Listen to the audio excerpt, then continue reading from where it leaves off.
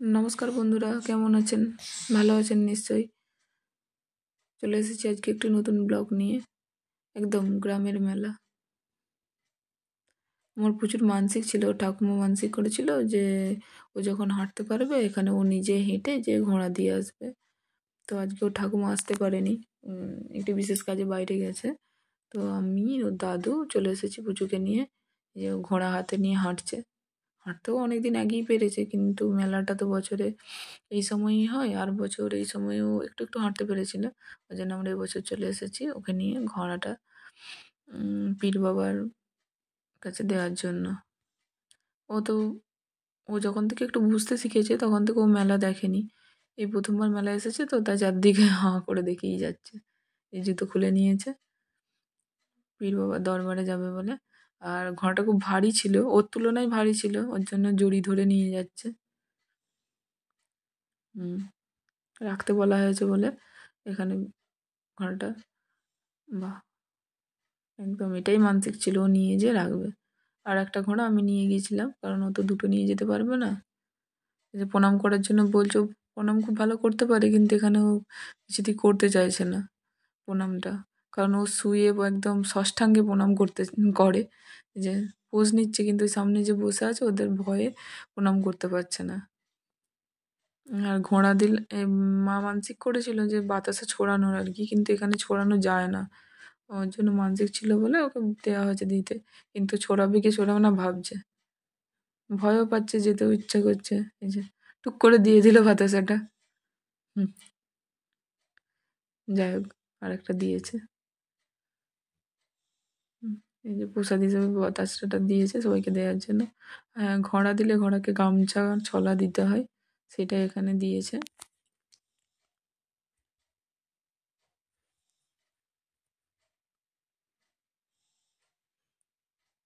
আর টুল বক্সে বসার জায়গা প্রণামী বক্সে ওর বসার জায়গা হয়েছে।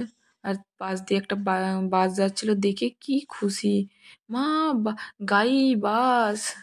গা, বাস আর গাড়িতে যে কী ওর আনন্দ, একটু পা নাচিয়ে নিল প্রণামী বক্সে মোমবাতিটা জ্বালাবে, ভয় করছে, আবার জ্বালাতেও ইচ্ছা করছে। যেই জ্বলে গেছে, ভয় আর ধরতে চাইছে না, আমাকে দিয়ে দিতে চাইছে। এত ছটপট করছে মৌলবি সাহেবও বলছে যে, ওকে আগে ধরো। এই যে ধূপগুলো ধূপগুলো সবগুলো নেবে একসাথে। আবার আগুন দিয়ে যখন ধরাচ্ছি, তখন ভয় লাগছে ধরতে। আমার হাতটা ধরে দিল ধূপগুলো ওখানে। ভালো করে গেঁথে।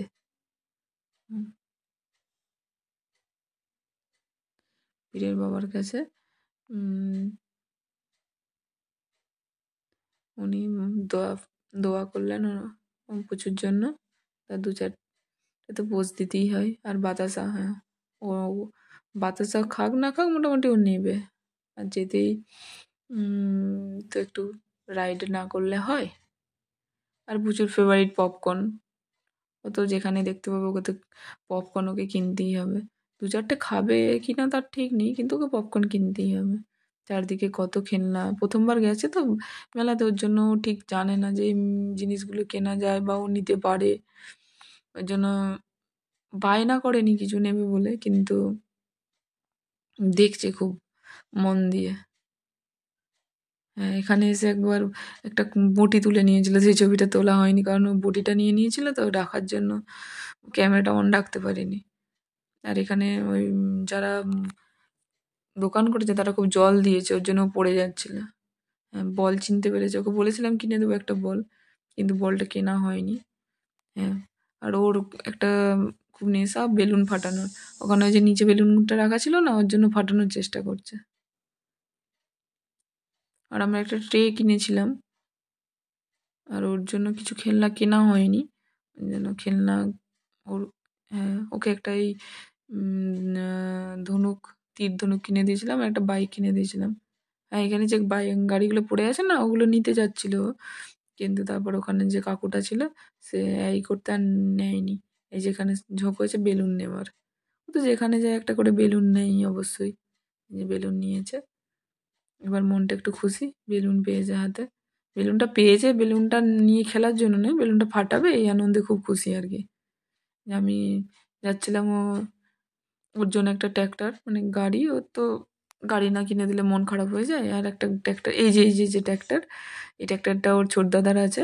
ও ট্র্যাক্টরটা খুব পছন্দ আর কি, কিন্তু অনেক মেলাতেই পায়নি। আর যেই দেখেছে যে ট্র্যাক্টরটা ছোটদাদার মতো, যে নিজেই তুলে নিয়েছে। কী খুশি। দাদুকে দেখতে পেয়েছে, যে দাদুর হাত ধরে যাবেন যাচ্ছে।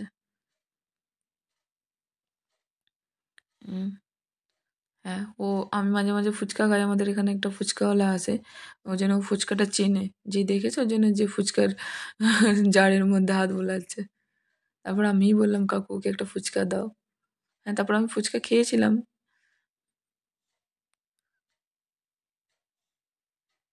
ফুচকাটা খুব টেস্টি ছিল। অনেকদিন পর খেলাম। আর মেলাতে গেলে কিছু খাবার না খেলে হয়। হ্যাঁ এখান থেকে কাঠি ভাজা কিনেছিলাম, গুড়ের কাঠি ভাজা। এগুলো মেলাতে ছাড়া পাওয়া যায় না চট করে। নিয়ে নিয়েছিলাম গুড়ের কাঠি ভাজা।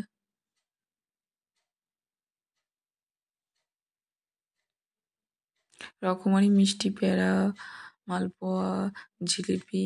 জিলিপি সেদিন বাবা নিয়ে গিয়েছিল ওর জন্য আর জিলিপিটা নেওয়া হয়নি। মিষ্টি আমার খুব একটা পছন্দ না। তবে বাড়ির জন্য তো কিছু নিতে হবে।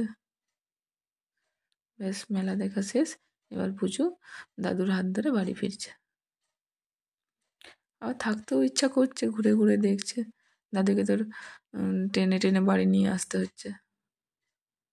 আসার ইচ্ছে নেই, কিন্তু বাড়িতে ফিরতেই হয়। ওখানে তো আর থাকা যায় না। এই যে চলে এসেছি বাইকের কাছে।